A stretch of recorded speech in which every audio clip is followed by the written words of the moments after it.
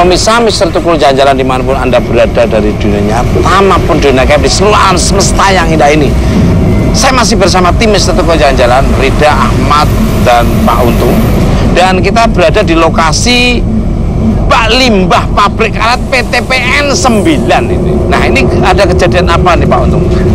karyawan sini sering me- atau atau dilihati penampakan-penampakan di sini penyiksaan atau Eh, ada suara nangis. Suara-suara tangisan. Ya ini, ini nangis, nangis. Belum dia bercerita ada Bercerita, nangis. di Itu ada suara nangis. Belum diceritakan. Gimana nih Pak? yang hijau anak keramik.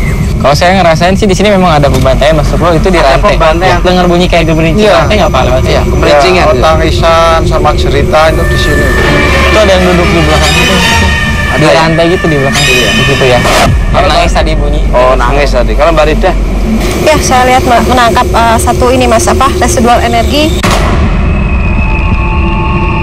seperti pembantaian betul kata Ahmad ini lebih tepatnya sih penyiksaan ya Mas ya. Ada beberapa yang dipaksa untuk kerja tapi Rodi. tidak eh, mau- betul ya Pak ya? Rodi ya Pak ya. Sempat juga ya kan berarti ya. Mungkin eh, kondisi sedang tidak sedang sakit tapi itu dihukum Mas. Ada sosok perempuan juga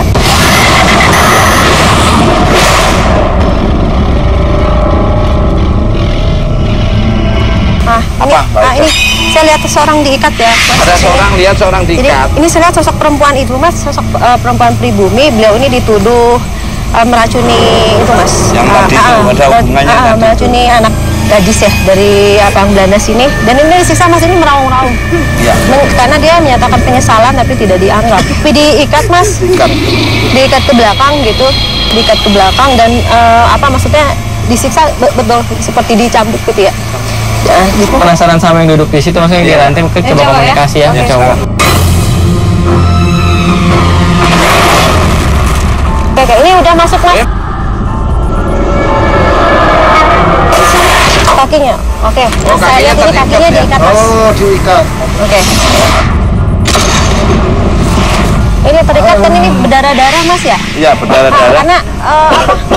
Capitannya tuh udah infeksi ke kulitnya. Seperti itu. Dengan siapa? Joko.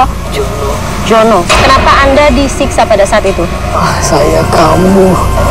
Oh, mahnya kambuh. Mungkin pada saat itu dia bekerja, dia sakit, dan eh, di- dinilai tidak bisa bekerja. Anjing anjing menggonggong. Kemudian beliau disiksa di sini.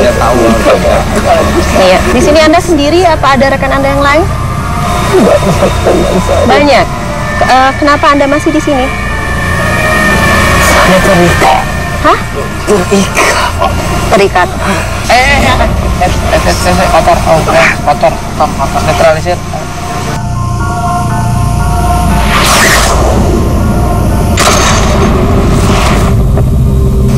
Gimana Mbak Rida tadi Ya, jelasin? eh, gitu Mas. Jadi beliau ini di, eh, apa? Tadi sosok yang diceritakan Mas Ahmad itu saya, saya melihat sosok laki-laki Mas. Duh Mas. Goyang. Ih, breeding dua-duanya. mulai berdatangan jadi Ini, Ah, ah.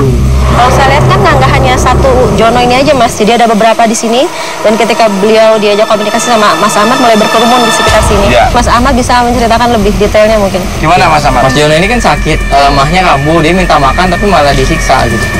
Dijejelin kayak singkong mentah di masukin gitu di di dijejel-jejel kan mentah. ya.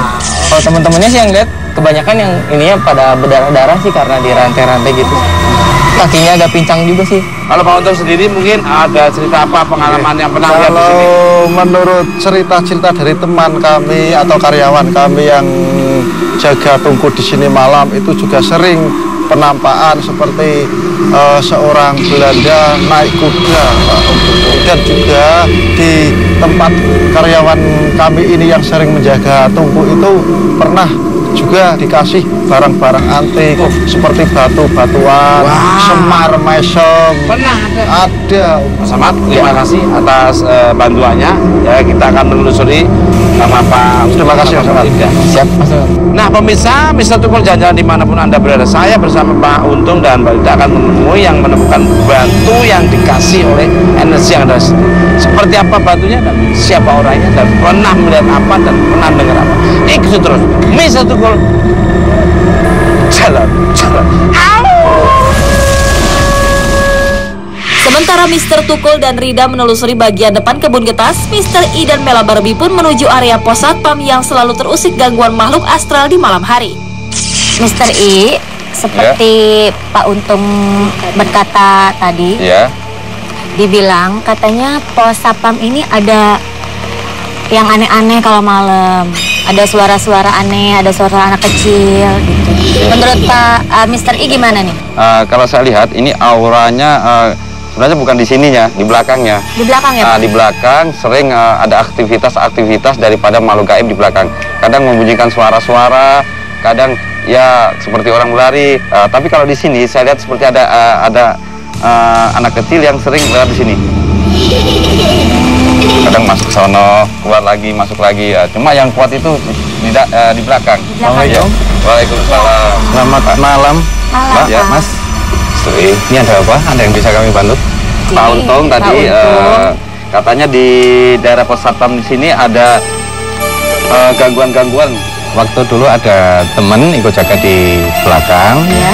dia istirahat, tertidur di belakang, jadi tiba-tiba terasa dipeluk dari belakang gitu mbak. Sama anak kecil apa apa? Ya kemungkinan kemungkinan anak kecil itu mbak. Eh, Karena tadi menurut Mr. I kan katanya ada anak kecil di sini. ya, ini sekarang anak-anak kecilnya ada di belakang saya, Mbak Mbak Mela. Ya, ini dia di belakang. Eh, dia diam ngelihat kita semua. Ini kita eh, dia dia di belakang saya nih, persis. Hah? Kenapa kamu di sini? Iya menjaga pusaka. Jaga? Pusaka ya.